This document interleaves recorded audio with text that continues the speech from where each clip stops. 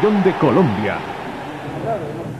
Ambiente de camarín eh, con Nuestro primer Vega. en Santiago esperamos hacer las cosas bien para que el público que venga al estadio se quede con una grata impresión nuestra y podamos partir a, a lo que va a ser eh, Copa América con, con el apoyo de, de Chile. ¿no?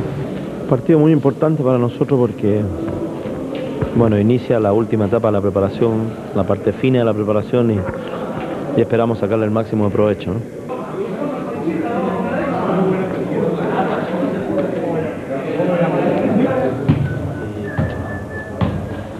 Bueno, este es un partido más de preparación, lo cual pues vamos a tratar de, ser muy, de jugar con mucha seriedad, mucha responsabilidad y, y lograr que el equipo juegue bien. Bueno, un partido difícil, yo creo que para nadie es un secreto, lo importante es enfrentarlo con la mayor seriedad. ¿no? Dirigió Salvador Imperatore y la nota primera tenía una significación especial porque Patricio Toledo reaparece en el pórtico después de casi dos, tres meses de ausencia. y en condición de capitán del equipo. Y la selección colombiana con auspicio en su camiseta, algo bastante inusual, incluso en la- la parte trasera también. Ahí una entrada del el Tren Valencia, la última gran aparición importante del fútbol, del fútbol colombiano. Un zurdazo y notable la tapada de Patricio Toledo.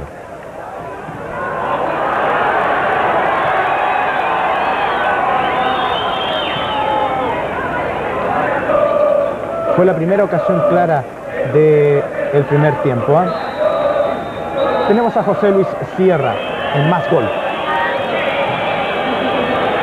Sí, juegan bien ellos.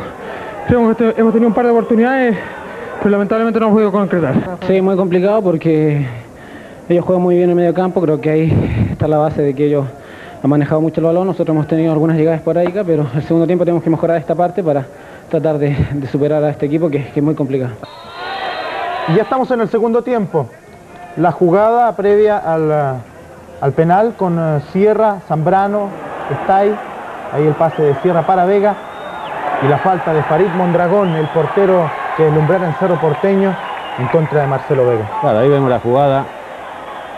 Con la mano izquierda se apoya, esta toma pareciera indicar que no, hay, que no hay penal, pero con la mano derecha, la que tapa él con su cuerpo, ahí lo toca, lo, des- lo desacomoda Vega, ahí, y se ve la infracción penal. El problema con cada situación de esta que se ve envuelto Vega va a surgir una duda, en especial de una jugada que vimos en la final contra Cobreloa, Héctor. Efectivamente, ahí va, está ahí en la definición. Fabián está y controla Fíjese el que- Mondragón y Fabián llevar el 1-0.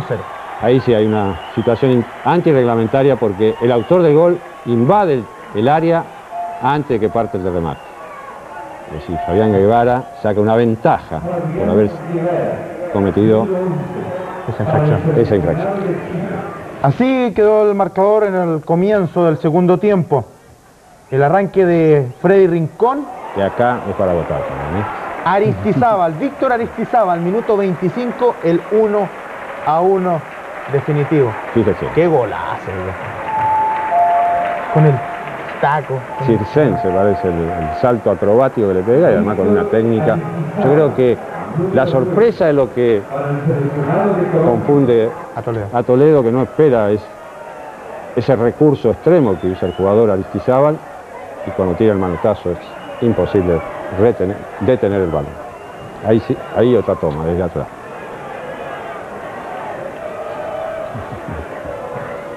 Candidato, ¿no? No es por influir en nadie, pero yo creo que el ganador. El pase de Treyes para Osorio y muy bien Patricio Toledo, que tuvo una gran tarde, ¿ah? salvo esa jugada del gol que, bueno, hay que darle también el mérito a quien lo convirtió. Muy buena la reaparición de Toledo. ¿no? Y el partido finaliza 1 a 1.